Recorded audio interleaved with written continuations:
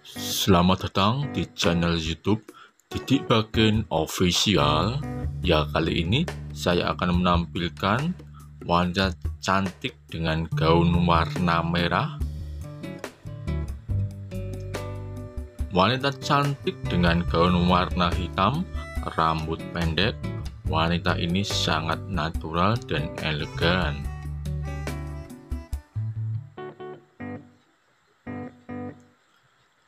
Gaun warna hitam, rambut pendek, duduk di sofa, itu sangat natural dan sangat-sangat beautiful.